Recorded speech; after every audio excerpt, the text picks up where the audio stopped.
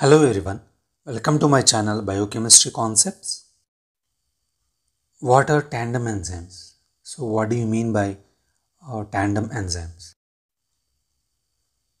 Pair of opposing enzyme activities that are present in the same polypeptide chain are known as tandem enzymes.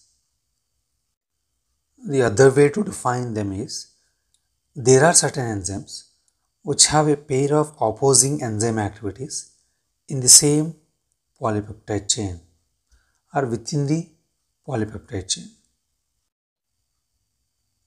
We know that most of the enzymes are proteins, that is, enzymes are protein in nature except ribozymes.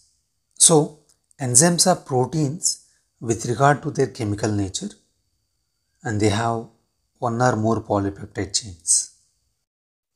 In some enzymes, within the polypeptide chain, they have opposing enzyme activities.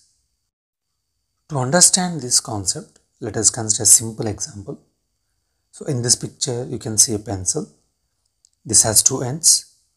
One end can be used to write, and the other end is used for erasing. Like this pencil, some polypeptide chains of enzymes also have opposing activities within them. One terminal has one function and the other terminal has other function. So when you see this glucokinase, it catalyzes the conversion of glucose to glucose 6-phosphate. So simply it phosphorylates glucose. That is the only function of glucokinase there is no other function. So the polypeptide chain of glucokinase has only one activity. Whereas when you see this phosphofructokinase 2, which is generally called as phosphofructokinase 2 fructose 2,6 bisphosphatase. So it, it is a bifunctional enzyme because it catalyzes the conversion of fructose to fructose 2,6 bisphosphate reaction. This fructose 2,6 bisphosphate is hydrolyzed by fructose 2,6 bisphosphatase. So, the function of synthesis and degradation of fructose 2,6 bisphosphate is brought by a single enzyme.